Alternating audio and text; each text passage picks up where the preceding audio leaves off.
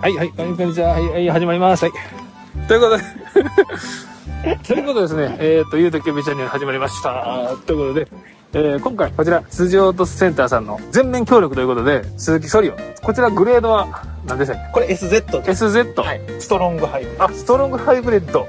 ストロングハイブリッドと、えーマイルドハイブリッドで、こちらがストロングハイブリッドでこれ。はい。ここが黒いです。あ、かっこいい。あ、これが差別化されてるところで。そうです。マイルドハイブリッドはこれがシルバーですよね。真ん中が。そうですね。ははいい。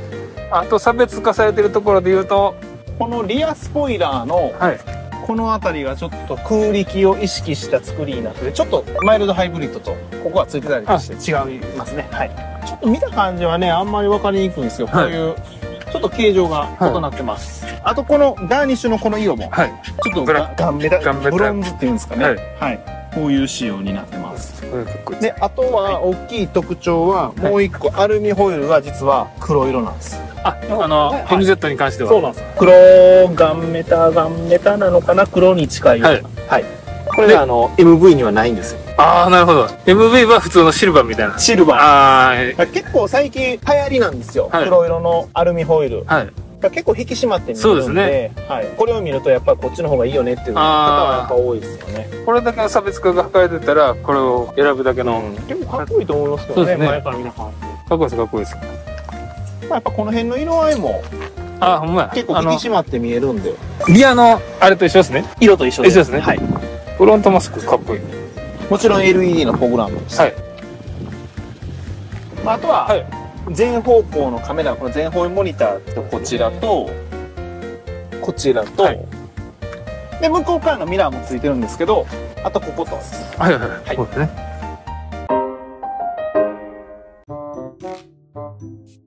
はい、オッケー、ください。はい、オッケー。ということです。何が？あ中みたいですね。中中ですねはいはいこれ中が僕は結構気になってるところです。まず、はい。はい、どうぞ。鈴木の特徴のこれですね。座席のあ、下。出た。はい。そうそう。これ僕、その下にあるという。この間させてもらったそのクロス B。はい。僕これ知らんかって、動画を出した後にこれを外してしまってそうです。結構ね、鈴木の車はほぼはい全車種に近いぐらい。なので、こう、例えばなんか、はい。こう、物を入れて、こういう感じ。あ、これだ開けれるん。そうなんです。上げれるんですよ。で、下にはい、リチウムイオンバッテリーが潜んでます。潜んでますね。はい。スペースを完全に無駄にしてない。そうなんです。だからちょっと、まあ、水気とかは要注意です。はい。あ、そうか、そうか。水分。そうなんですよ。ここに結構汚れたものとか、水気のついたものが、やっぱり、このリチウムイオンについてしまうはいとやっぱ良くないので、そうですねはい。洗車用品とか絶対やったらあかんですね。できたら、水気は避けた方がいいかなと思います。ありがとうございます。まあ、あとはツイーターもこう、スピーカーついてたりはい。しますし、はい。これはもう、このグレードやったら全部。もうついてます。はい。ここについてますよ。ここと、まあ、ここっすよね。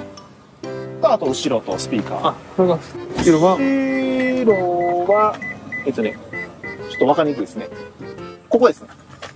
あ、あちら。はいはいはい。ああとテーブル。ーはいはい。あ、これが。後ろのちょっと紹介になりますけど、はい。右左ともついてます。これ、クロスビーと一緒ですね。一緒です。はい。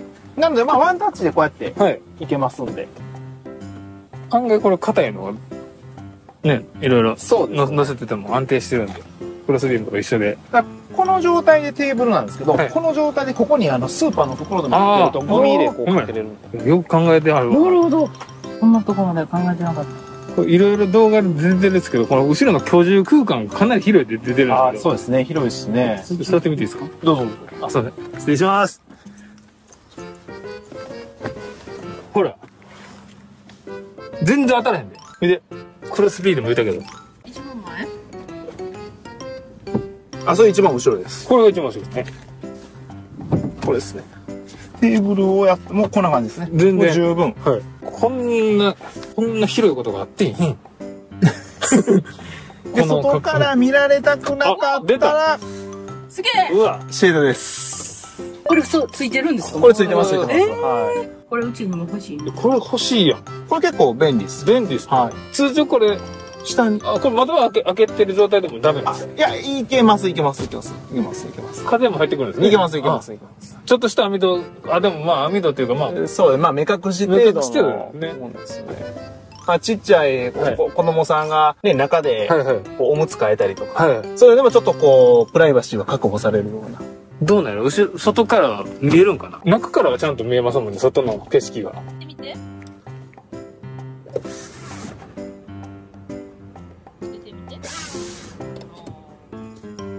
まあちょっと目隠し程度かな。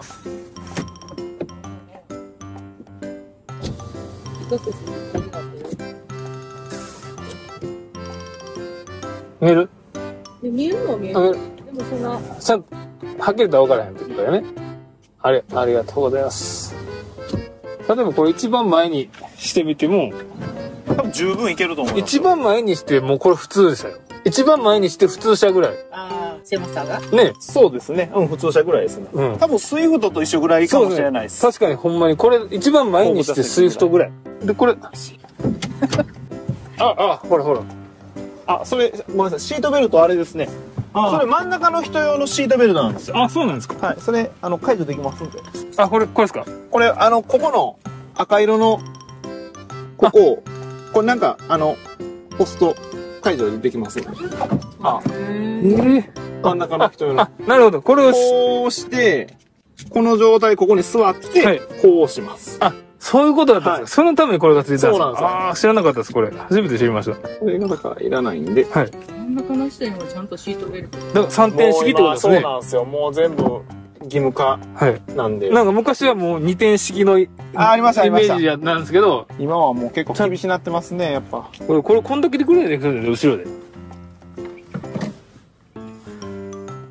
寝れるか？やれる。車中泊できます？こねえ。よいしょ。れどうやろうこれこうして、これこうすると、なんかこうやって、ああ。の、車中泊する人結構多いです。はいはい。あ、ほんまや。これちょっと寝たろかな。うんどうぞ寝てください。ちょっと靴脱がしていただいて、汚い靴下で申し訳ないですけども。あ、こ、あ、こ、こっちか。ギリ寝れる。そうですね、身長195センチの僕でも、!195。でかいな。まあ、それが約30センチ引いていただいたら、大体の身長がわかるかと思います。うん、うん、これでち、ょっとでもし、まあまあ、いけんことはないかなっていう。あ、でも、まあ、枕があればいけます。もうちょい下げます。あの、あ、そうか、そうか、そうか。まだ。あ、そうですね。これが限界ですね。マットのマット引いたらいけますね。うん。うん、いけます、いけます。シートだけはちょっとあれ。全然、170センチぐらいの人だったら足曲げずに、一直線で寝れる。まあ、大人二人でも多分いけますね。。中学的に。お客さんの中にもいてるんですよ。いけますね、これ。ソリを乗ってる人で、はいよく車中泊これができるんで、もうよく行くよっていう方も。これはいい。ほんま、ちゃんとドンピシャで設計されてますね。ちゃんとこれがここに来るように。ああ、そうですね。なんか爪甘い時あるじゃないですか。もうちょっとでっていう時ね、ちゃんとそれが叶えられてるからいいっすよ、これ。それでいくと、はその、ルーミーとかは逆に倒した時、例えば、あはいこっちに倒した時に段差ができるんですけど、はいはいはいこれは、割かし、後ろちょっと、フラットなんで、あ荷物も積みやすい。あ、あ、こうか。ああ。ああ、な、そっか。ちょっとルーミーやとこが段差になって、まっすぐになりにくいってことですか？えっ、とね、そうですね。まあ、これもちょっと段差厳密に言うたらあるんですけど、はいまあ、ほぼちょっとこう、フラットに近いような、はい。まあ、形にもできますし、ワンタッチでこう倒れて立てれるんで、はいいいんですけど、はいルーミーとかの場合は、倒して、引っ張ってまた前にやるんで、はい。二にあに二工程というか、はい。そこが結構あの、めんどくさいっ。ていう方もいらっしゃるんで、これはもうワンタッチで簡単に倒すことも立てることもできるんで。あ、じゃあもう、もし迷ってたら、はいまあ、そこの点はこっちの方が優位優位性があるってことですね。。まあ、荷物の積載のスペースもこっちの方が広いので。作り方が簡単な方がいいよ。うんんそうですね。荷物の置ける量と、この簡単さ加減と、このまっすぐフラットっていうのが、ルーミーとソリオで迷ってたら、そこが判断材料にもなりますね。そうですね。後ろからも。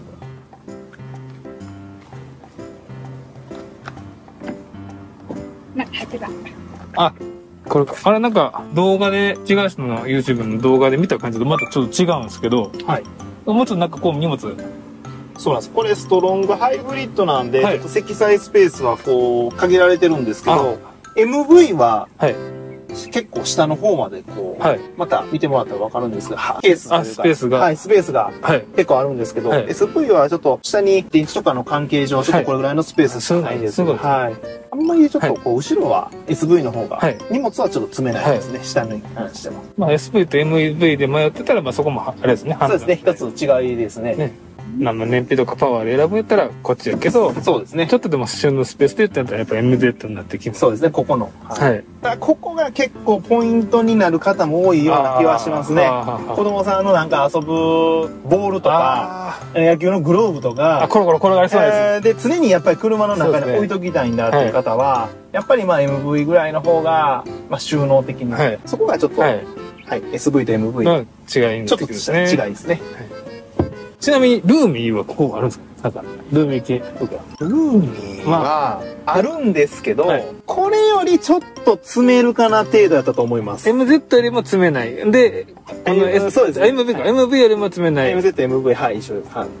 で、S、S なんていうか、S、SZ。SZ よりは詰めるっていそうですね。この発泡スチロール系が確かなかったと思うんで、もうちょっと詰めたような、はいこれちょっとあやふやですけど。ああ、ごめんなさい。ちょっとそこはちょっと、いいですねはい。ません。はい、すいません。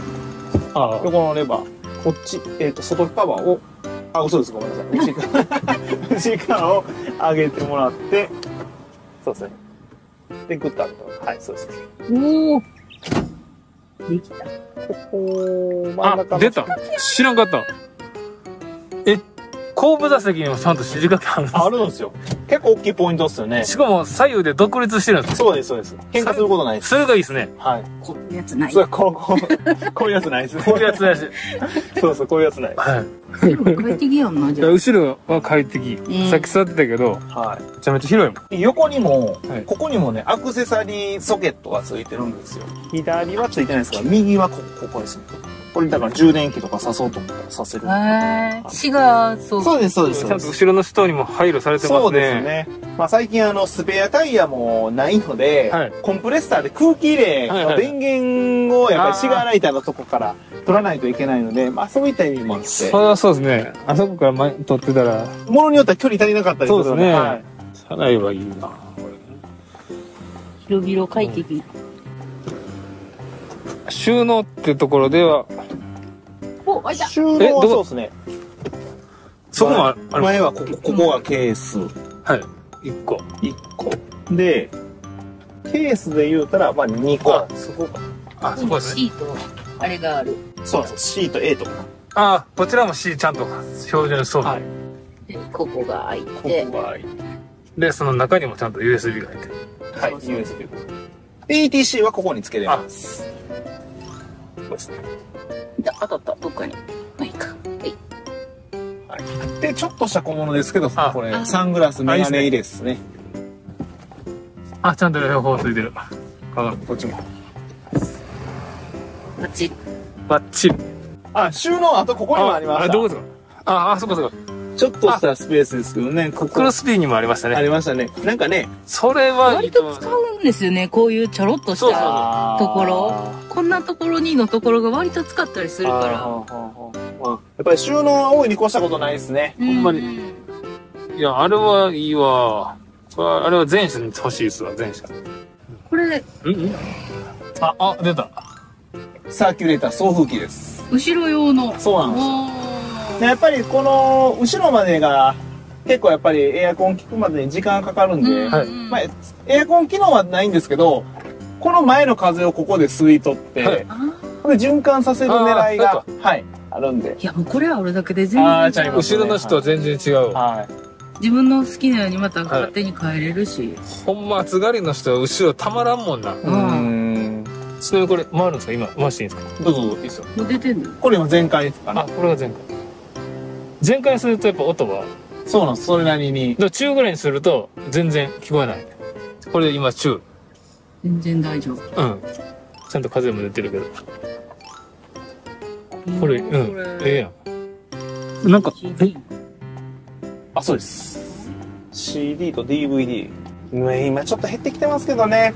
そうですね。もうね、こっちのまあ、Bluetooth と、まあ、これは HDMI の出力ついてないんですけど、はい。最新機種のスペーシアとかで一緒のナビついてるんですけど、はいそれは別売りで HDMI の入力コード売ってるんで、はい HDMI 接続入力がこっちにできるんですよ。これはちょっとできないんです。ああ、それできるモデルやったら、例えばススマートフォンはい。の映像を出力であ、きるそうです、そうです。そうですそうですそうですこのあたりは何ですか？このボタン。どうですか？ねあ、それオードメーターあ、か。これですか？これはね、こっちの。オードメーターと、あとインフォっていうところを押すと、今日実は僕リセットにしたんですよ、朝。あ、なるほど。さすで、今あんだけ乗って、はい。うんピートどれぐらいだろう？今日ほぼ山道ばっかりやったんですけど、15キロ。あ平均年あ、はい。まあ、あんだけ走って15キロやったら、そうですね。結構いいんかなとは思ってます。はい。ちょっと今もアイドリングしてるんで、多分ちょっと下がってるはずなんで。そうですね。でも実際街乗りで皆さんおっしゃられるのが17ぐらい。はいはい。平均大体。平均で、はい。まあ、SZ、SV やったらどうでしょう ?19 とか。いく出るんですか？はいうまいこと走ったらそれぐらいはいきますよ、はいまあでも結構今の車もうどれも燃費だいぶようなってるんで、はい。はい。まあそんなね、プリウスみたいにはよくはないですけど、はい。まあそこそこいいんで。であとはこの、あ、はい、だって。さっきからようぼっちん。ちょっと前、うんちょっと前からもうなってますけど、あの、パック紙パックはい。もう入るようなはい。ドリンクホルダーが。ああ、ほんまや。はい。500ml の。そうです。500でも、1000でも。はい。はい。しかも紙パックをもう、あの、動かへんし、その奥に普通のカンカン？入れても普通のそうですねはいちゃんと二重のそうです、そうです。設計になってる。そうなんですよ。どっちでも動かへん。まあ今結構多いですね。うんね。あとは、これが。ああとなんか。皆さん気になるところ、はい、はい。どうでしょうね。あ、あとこれですかね。その下。あえーヘッドアップディスプあレヘッドアップ。あ、イ。で、これは、はい。まあ基本ついてるんですけど、こうやって、いらんかったらこう閉じることもできるんで、ああ、ということなんか、先ほどの前の動画でクレームで出たこれいらんって言ってた人は別にはいもうこの状態で。いらんって言ってたらもう閉じてください。閉じてくれはい。ここかな？ここっすね。はいこの、このスイッチです。はい。で、それを押したら、あ、開いた、開いた。これちょっと映して、映ってんの見えませんよね。ちょっとあの、ピカピカピあカーそうですね。あそうです、そうそうそう。あの、周波数の問題で。そうなんですよ。で、これが、えーっと、ちょっと待ってね。あこれ、今、モードがいろいろ実は変えてるんですよ。はい。今画面切り、これ、スタコンメーターになってるんですけど、なんか映って映らないですよね。ピカピカなって映らない。ちょっとね、切り替えできるんです。ピカピカなんですけど、まあまあ、はい。はい。そうです、そうですそうです。ね。ここですね。ちょうど映ってます。ちょ、これでうんいろんなモードに切り替えできます。はい。で、ナビゲーションとリンクしてますんで、はい。はい。えー、地図の案内は、あ、なんでここに出てきます。なるほどねはい。右曲がってください、左曲がってください。はい、で地図。地図っ地図こういう地図は出ないんですけど、はいこう矢印、はい、次、あこう何メートル先、右とか左とか、っていうのが、一番知りたい情報。はいそりゃいい。それはいいよな。いちいち目線外さんでいいし、たまにぼーっとしてて、ここを見てない時あるやん。で、ああ、い行ってもうたっていうのが、これやったら絶対それ、絶対って言われへんけど、そういうミスななくなりそうやから。こう運転席座ってて、はいやっぱりこっちにこう目線を移すことで、やっぱり事故になる瞬のね。はい、リスクがあるので、はいそれをちょっとでもなくすために目線移動を極力しないような。はい。昔なんか高級車クラウンとかなんかマジェスタとかがついてましたね。はいなんかガラスのとこに映し出す。ああ、そうですね。はい。まあ、この距離、こんだけって思うけど、結構やからな、運転してると。その間にもう何メートルも進んでるから、それは事故するよね。その機能が、はい。はい、ついてます。後付けとかで売ってたりしますけどね、なんかあんまりこう、やっぱ純正の方がこう、まとまりがいいというか、後付けありますね。ガラスガラスに映すやつ。ガラスなんですかね。なんかね、こなんかありますけど置いて、こう映す。そうですね。ありますね。やっぱ純正品がいいなまあ本当にはいついてる機能は、実は特別な機能はついてないんですけど、はいまあよく必要とされる機能は、はい。まあ見てもらった通り、もう十分いっぱついついてるるんで、よはい。もう今では必要不可欠なもうね、それです充電関係とかっていうのもついてますし、だってスイフト、オプションではい USB1 個ついたけど、本来はないんすもんね。今の僕が乗ってるスイフトって。えーっと、原稿あるんかいや、一緒ですよ。えーっとね、全方位カメラ仕様にすると USB はついてくるんですよ。なあの、でかい方なんですね。そうです。A, の。はい。C があるのがいいわ。山羨ましや。最近ね、もう C をだいぶね、どの車もついてきてますね。はい。A と C と。あれだしと両方とも。はい。そういや、そこのね、はいあれなんですかゆこれ、あの、グローブボックスの横のあ、、横、これ、これ、これ、これですか？それですね。これね、ピュッとやるとね、お荷物。あ、出た袋袋かけれるんですよ。あ、ゴミ袋。ゴミ袋。ふよくコンビニの袋とかそう掛けみんなて。ここにつけるじゃないですか。そうそうそう。そうそうこれここにつけれます。そう。それはよ。うん、まあ、何もかも。何もかもついとんの？何もかもついてる。シートヒーターも。あ、シートヒート。はい。運転席。シートヒーター。ヒートシーターじゃうちの娘も言ってましたから。ヒートシーター言うた。シートヒーターです。シートヒーター。これ。便利ですよね、やっぱりね。暖房はいらないけれども結構やっぱりはい。冷えるんで。そうですね。ちゃんとこれ、助手席用もあるという。そうなんです。結構もう助手席、運転席セットがはい今普通ですね。なぜスイフトは助手席にないのか論争一回あったけど。あー ありそうですね。いや、それを省くことによってどれぐらいコスト変わるんやと思いましたけど。ねでもできたらついてる方がいいですよね。そうですね。特にね後ろついてるやつもあ、後ろも。あるんですよ。はい。まあ、ちょっとスズキの車はないんですけどね、はい他メーカーとかだと後ろにもついてるんで結構いいですよね、はい後ろついてると。どうでしょうか？あいいとは、ですね。あとはなんか気になるところ。結構もういい、車内は言い尽くしましたね。そうですほぼほぼ。ね。まあ、クルーズコントロールとかね、はいこの辺も、まあ、ついてますね。もう最新のアダプティブクルーズコントロールになってるんで。全方位カメラって映ります今。あ、映りますあ、よ。ほんまですか？ちょっと、あ、これ閉めないといけないですね、後ろ。あ、一回閉めてもらった方が分かりやすいかもしれないです。と、あと、横助手席も閉めてもらって、はい。で、いきますよ。ちょっと、これ、開け、閉めた方がいいですかねわかんないあ、ですけど。そっちも、はい。じゃあ、バックにします。こんな感じ。ああ、ちゃんと映ってますね。めっちゃ見やすいよ。これ、う私すごい邪魔やけどな。大丈夫ですよ。すごい足長いけどな。めっちゃ足長いです。めっちゃ、めっちゃ足長いです。よいしょ。これめっちゃ見やすかった。運転してて。うん。で、これ、ここ見ててください。ハンドルを動かすと、こう、ちゃんと、歪んでる、はいこのまま止めたらやっぱり歪むんですね。はいこう、ちゃんと、こう、ラインが合うところには、いステアリングを持っていってもらったら、ちゃんとまっすぐ止めれるよっていうような機能もついてるので。アシスで、ここを押すと、画面切り替えできるんですよ。これ、後ろだけ。で、これは後ろと、ト。その左の、はい。あ、じゃあ左えー前。左前。はい。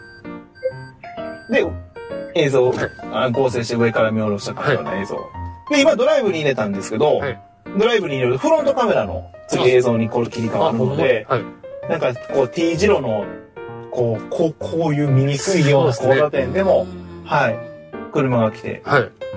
で、ここに、ちょっと今、ないんですけど、車が来たら、お知らせで黄色い印がつくんで、はい。まあ気ぃつけてねっていうのも、ここに表示されます。はい。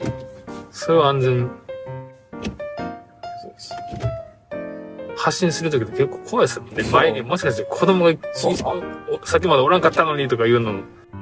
これも一緒なんかですね、フロントカメラ。はい。あ、フロンフロントと横。はい。で、上。見下ろしたような映像。全部出てきます。ありがとうございます。で、こう、ビュースイッチをぐるっと押すとぐるっと一周。はい。自分の車の、この車の周りに何かちっちゃい子供が、あ例えばいてないかとか、はいまあ、要はこう見えないはい。かったら、やっぱりこう、危ないんで、はいそれをこう、注意してくださいねっていうような、このあ、そビュースイッチです。あーこのスイッチを押すと。はい。出てくるんですよ。よ。で、エンジンかけた時も、この画面が出てくるので、ははいい。スタート前の確認ですね。まあ一応これも確認はい。用ぐらいの。はい。はい。すげえ。上になんかドローンでもおるんかと。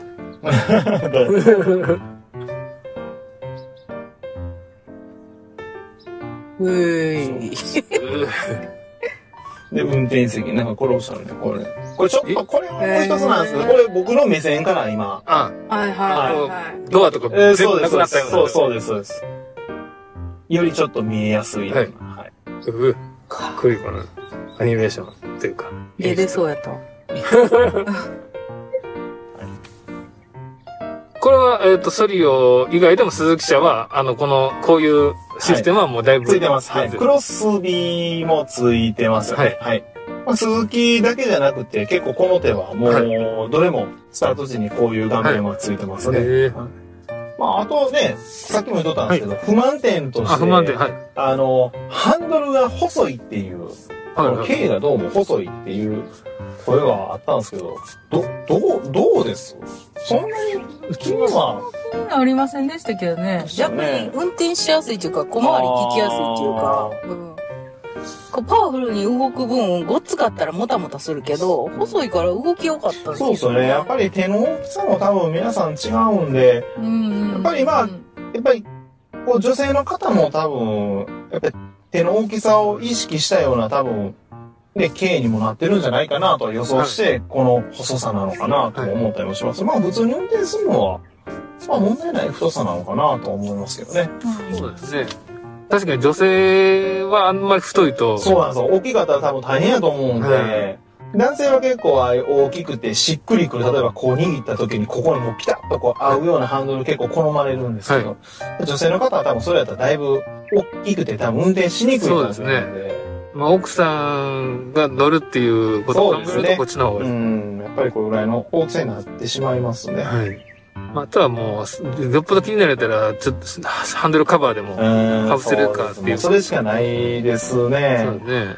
まあ、あとは、あの、ハンドルのはい上下は、まあ、多少可動ははい。あるので、はい。まあ、合わせてもらう。まあ、たただテレスコがついてないので、手前でもちろん、はい、手前にやったり、こう、こういう動きができないんで、ははいい。